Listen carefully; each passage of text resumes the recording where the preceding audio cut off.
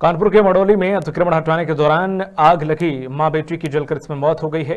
इस मामले में जाँच और विवेचना के लिए गठित दो अलग अलग एसआईटी गाँव पहुँची।